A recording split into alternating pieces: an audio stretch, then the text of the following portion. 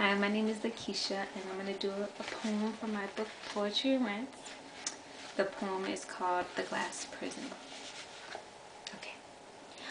I'm in a glass bottle, and you're not. I said, I'm in a glass bottle, and you're not.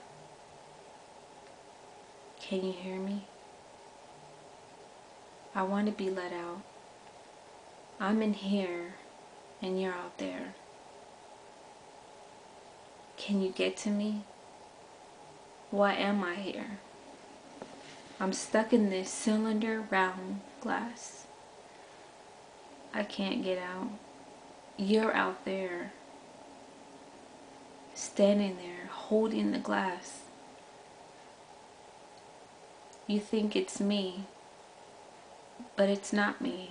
I'm inside. You tell me you love me, and it bounces off the glass. I want to get out. I'm looking at you from the inside. You're so sad, just holding and embracing it. So compassionate, so eager,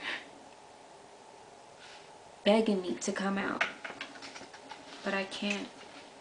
There's no door. I want to hold you back. I want to love you too, but I can't. I can't even get to you. You're out there, and I'm in here. You're embracing this glass cylinder ball while there's nothing for me to embrace. Just a touch. So I sit at the bottom of my glass cylinder cage. Me looking up at you, you looking down at me so devastated. I want to be let out. It's so comfortable inside, yet so lonely.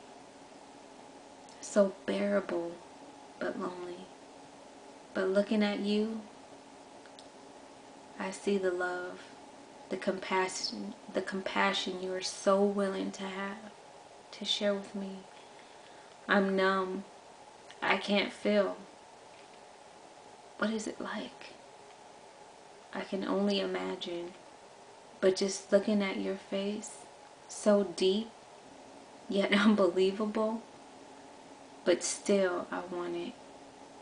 My only dream is to wake up one day and look up and see this glass gone so that I can embrace you the same way that I see you embrace this glass.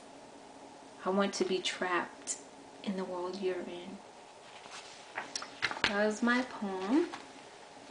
Poetry Rants. Check it out. Lakeisha Johnson. And that's going to be at uh, www.lulu.com slash Lakeisha Johnson. Thanks for listening.